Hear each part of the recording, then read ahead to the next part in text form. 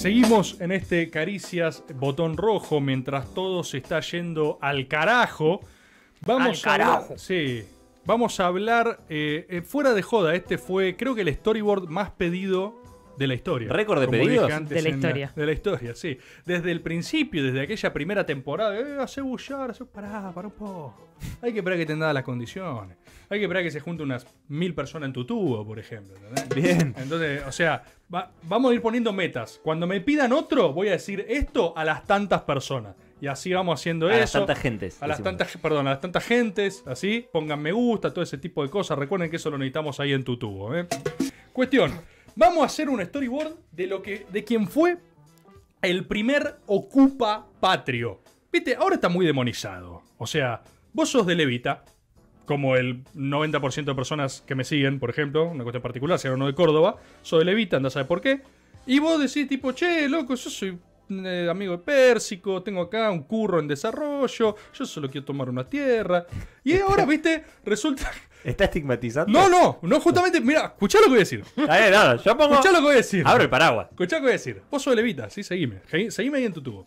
Entonces vos decís que, che, estoy re estigmatizado, loco. sos- soy pérsico, quería una tierra nomás. Entonces, eso ahora es terrible, pero ¿qué pasa? Resulta que antes si lo hacías, eras un patriota.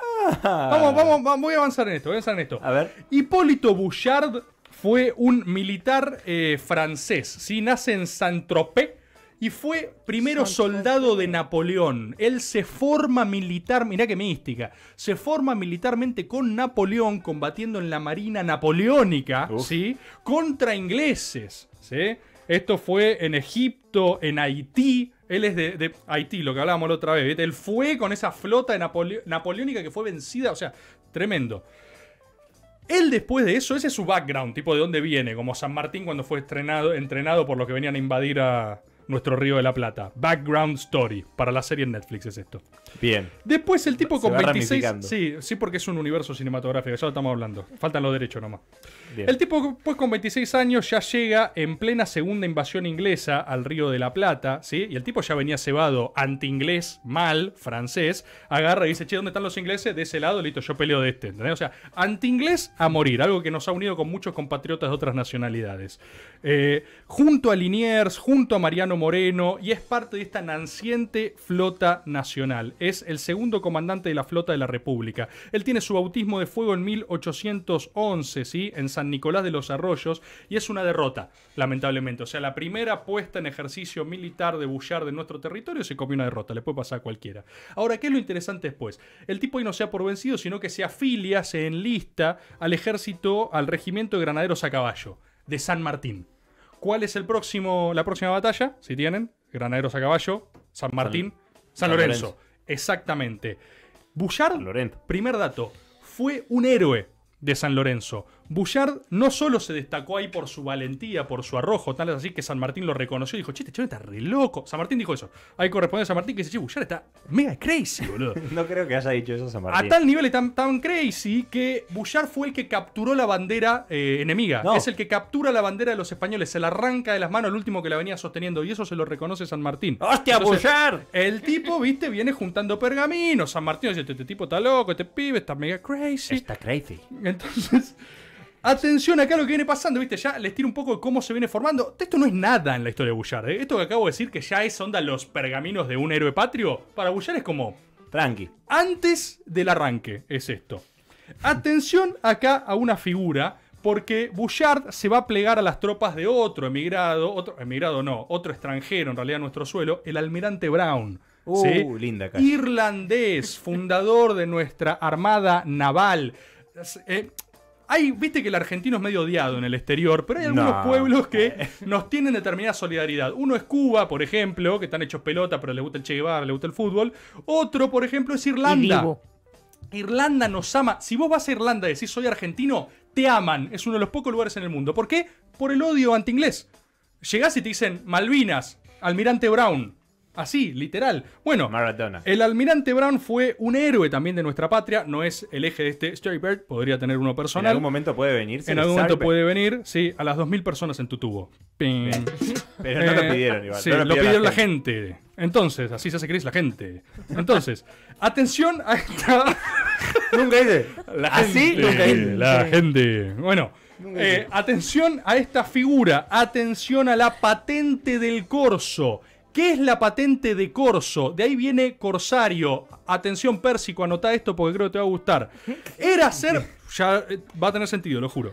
¿Qué era la patente de corso? Una suerte de licencia para chorear, ¿sí? Entonces vos tenías piratas en el mar y tenías corsarios. ¿Cuál es la diferencia? Que unos robaban en nombre de un estado. Vos eras una suerte de mercenario pago que tenías una licencia de corso. Era tu matrícula de pirata. Pero yo soy pirata legal, yo soy corsario. Bien. ¿Entendés? Entonces vos mandabas a corsarios a romper las pelotas a otros imperios en el mundo con tus eh, soldados, tus piratas legales. Esto es una práctica que popularizó Inglaterra al palo, ¿entendés? O sea, es juntarte mercenarios y vas a eh, repartirse el botín con ellos. Entonces, si vos sos de Levita, ¿Qué eh, tiene? Pará. No, pará, No tiene que ver. pará. Es obvio que no tiene que ver. Pará, pará, Le quiere pará, pegar a Levita, nada más. No, no, no, no, no, no, no, no, no, no, no, no, no, no, no, no. ¿Qué se rescata tanto? No, no, aguante Levita, escuchá, pará, escuchá. Escuchá lo siguiente. Vos sos pérsico. Sí. Te metieron ahí en un loteo horizontal con un ministerio de arroyo, te rompen la bola todo el tiempo, le querés sacar un paquete de fideo, arroyo no sabe comprar nada. Ya está. ¿Qué hay que hacer con Pérsico? Le tiene que dar una patente de corso y tiene que mandar a Pérsico al sur a invadirle el territorio a Lewis. ¿Viste lo que decía Samid? ¿Viste que tiene ahí el lago escondido privatizado? Sí. Que entre Pérsico con una banda de levita en, la- en el terreno de Lewis, Lewis dice, ¡Oh no! ¡Chorros, chorros! No, no, no. Soy corsario. Soy el corsario pérsico. Entonces, vos crecés. ¿Por qué La patria crece con el levita. Los mandás a Malvinas. Pérsico, héroe. Yo te estoy interpretando. Yo sé que si vos estás de levita, sos gente de levita.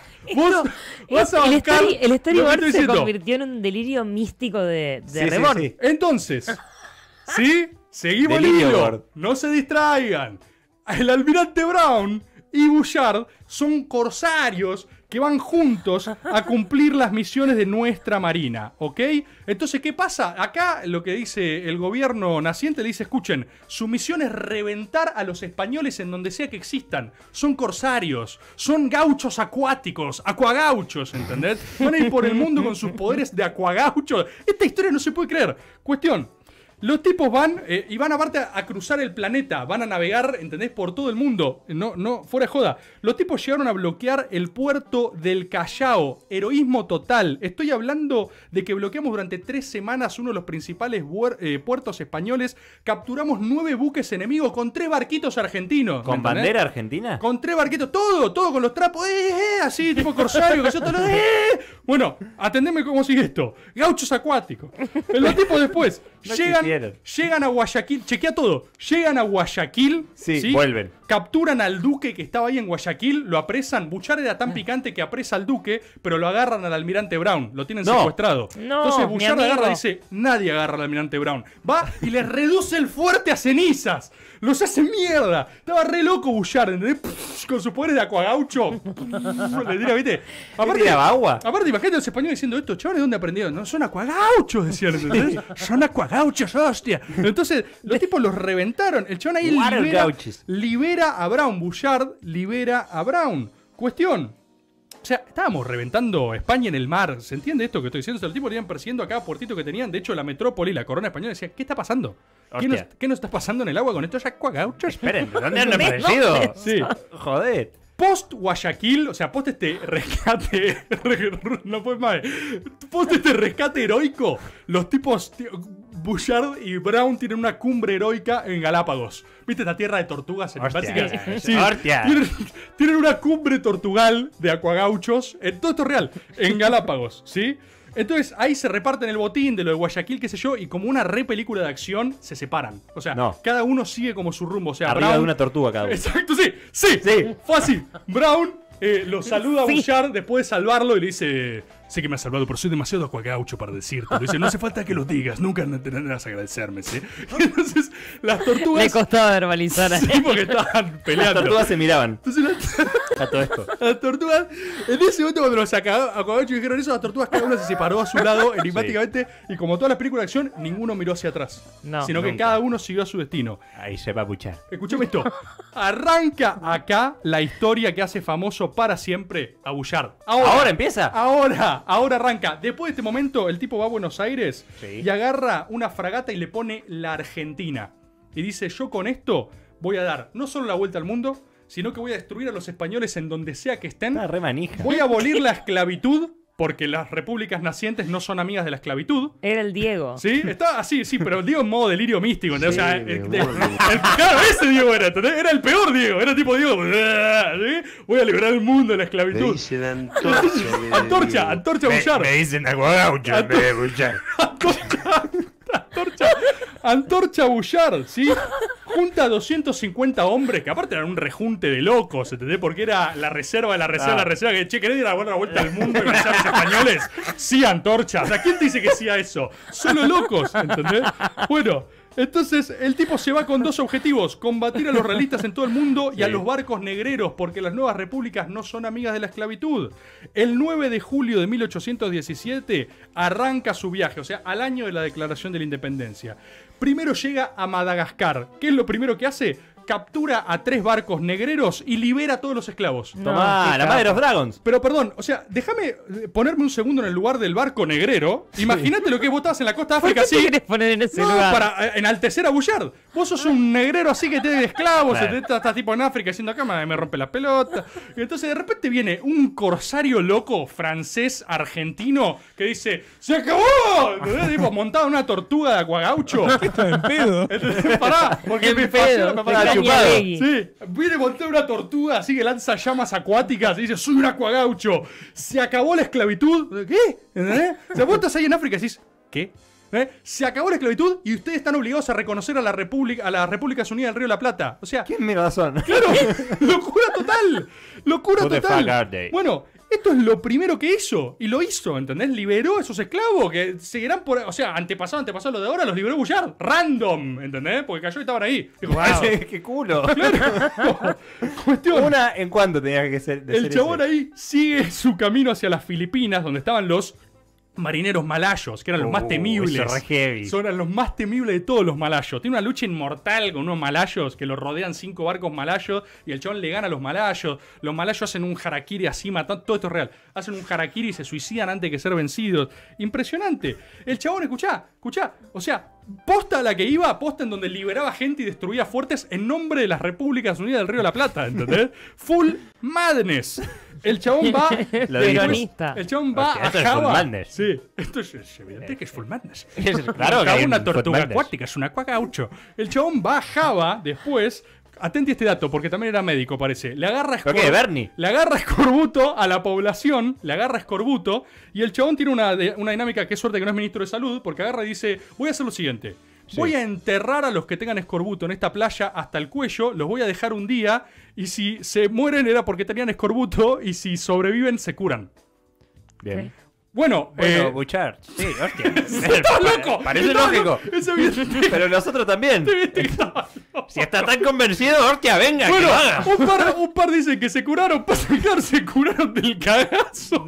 Además de que no tenían nada por ahí. Viene tu capitán y te entierra el cuello y te dice, yo vería el otro día y te voy a desenterrar y si estás bien vamos. ¿Entendés? ¿Esto en dónde encima? ¿En. Filipinas? En Java, no, en En Java. eh, no, eh, está en la Loma del eh, Orto. Es en Indonesia, sí. Java. Eh, calor. Sí. O sea, al lado del Ecuador. En la playa, enterrado hasta el cuello así para que te cures. No, está bueno. Buena onda. Sigue hasta Filipinas, bloquea Manila, captura seis barcos, hunde, o sea, hunde como 16, captura otro tanto y los manda a Buenos Aires. ¿Entendés? Y el tipo manda una declaración que dice, a quien sea que se me oponga, sentirán el, sentirán el enojo argentino. Pero. ¿Qué? El enojo argentino. Enojo argentino. Punk rock. Sigue Bullard, llega a Hawái. En Hawái negocia con el rey Kamehameha. Nah, ¿Vos- nah, nah, ¿Vos crees? mentira. ¿Vos crees buscalo? Buscalo. ¿Vos crees que Kamehameha de Dragon Ball? No, era un rey de Hawái. Le, le decían el Napoleón de la Polinesia. ¿Se lo era un enigmático rey hawaiano que tenía obviamente poderes, porque obviamente te Kamehameha, tenés poderes. tortugas, Sí. seguro. El chabón negocia con Kamehameha y Kamehameha lo banca tanto que le da soldados hawaianos. Entonces, Bullard sigue su eh, locura, básicamente, por el mundo. Cuando Ahora, se enfrenta a Tao Pai Pai se pudre todo. ahora sumando soldados hawaianos. Entonces, un ejército inmortal de acuagauchos, tortugas. ¿Pero por qué estudiamos el Hawaianos. otro lado que es por donde se fue San Martín y no estudiamos esta No locura? sé, no sé, esto es una locura.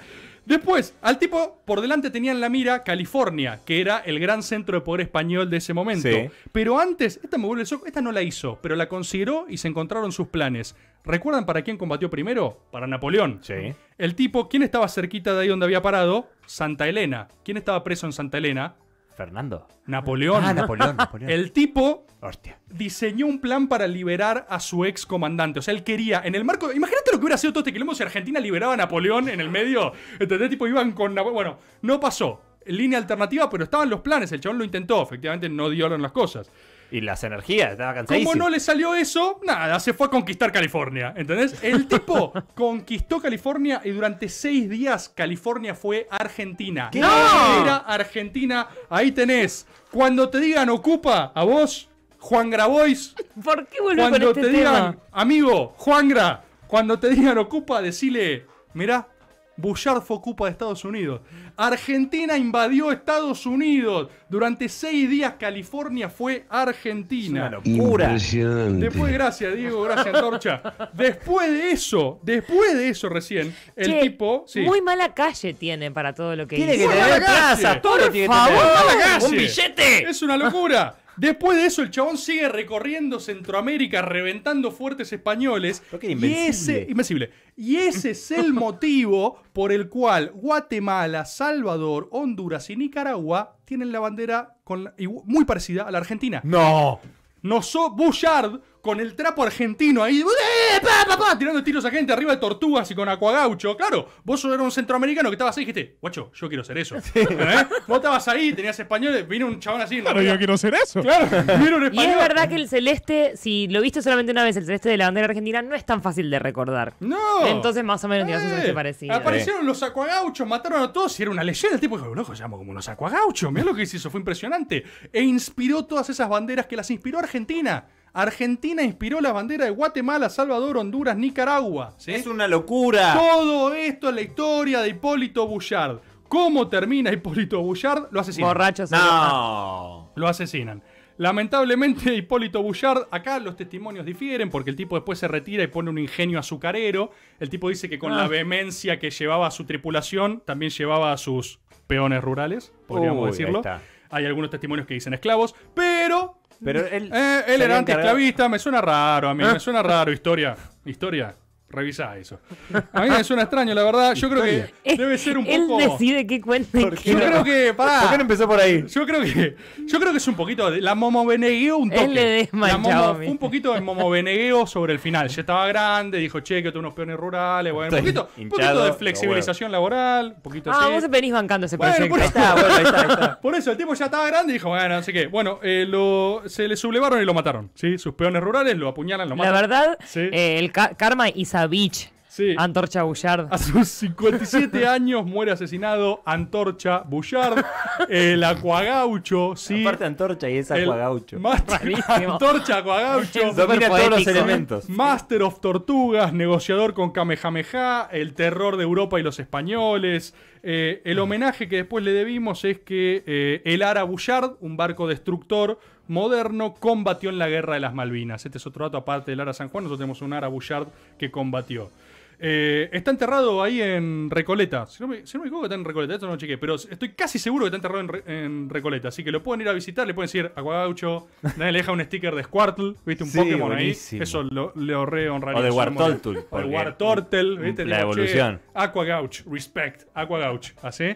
Qué bueno, oh, qué buen storyboard. ¿Vamos a esa? Sí, vamos a. Sí. Que él mismo De se Olivos dice. a Recoleta. Hipólito Bullard. Él mismo se dice que buena storyboard. Pregunto, la dejo picando. ¿Hipólito Yrigoyen tiene ese nombre por él? Oh. Tal vez en otro storyboard.